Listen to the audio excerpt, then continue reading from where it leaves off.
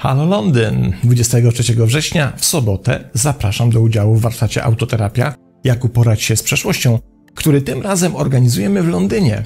Pomysł pojawił się po otrzymaniu wielu pytań o wersję online tego warsztatu z racji tego, że mieszkanie poza granicami Polski stanowi pewną przeszkodę w dotarciu do Warszawy. Podsumowaliśmy więc te pytania i okazało się, że spora ich część pochodzi od osób mieszkających właśnie w Londynie. A ponieważ wciąż preferuję spotkania na żywo niż te w wersji online i rozumiejąc trudności logistyczno-transportowe, postanowiłem przywieźć Wam ten warsztat do Londynu. Najpierw jednak kilka słów o samym warsztacie. Stanowi on praktyczne uzupełnienie treści zawartych w książce Autoterapia oraz w cyklu filmów zatytułowanych Przypadek na moim kanale YouTube których prezentowałem maile od czytelników dzielących się swoimi historiami. Warsztat ten ma więc dostarczyć narzędzi oraz ćwiczeń, za pomocą których można poradzić sobie ze sporą ilością pochodzących z przeszłości problemów.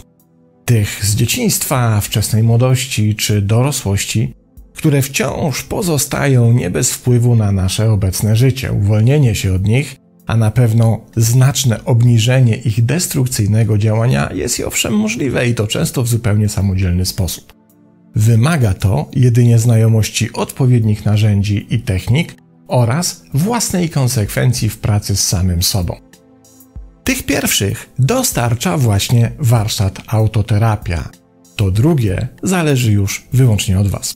Zatem widzimy się 23 września w sobotę o godzinie 11 czasu lokalnego w słynnym Posku, czyli Polskim Ośrodku Społeczno-Kulturalnym, największym centrum polskiej społeczności Wielkiej Brytanii, w londyńskiej dzielnicy Hammersmith. To zaledwie dwie minuty spacerkiem od stacji metra Ravenscourt, więc trudno nie trafić. Pod filmem zamieszczam link do strony londyńskiego organizatora warsztatu, pod którym znajdziecie wszelkie niezbędne informacje, kontakt na organizatora oraz możliwość skorzystania z bramki płatniczej, by zarezerwować sobie miejsce i wykupić udział w warsztacie.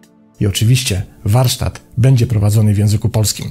No cóż, do zobaczenia w Londynie i pozdrawiam!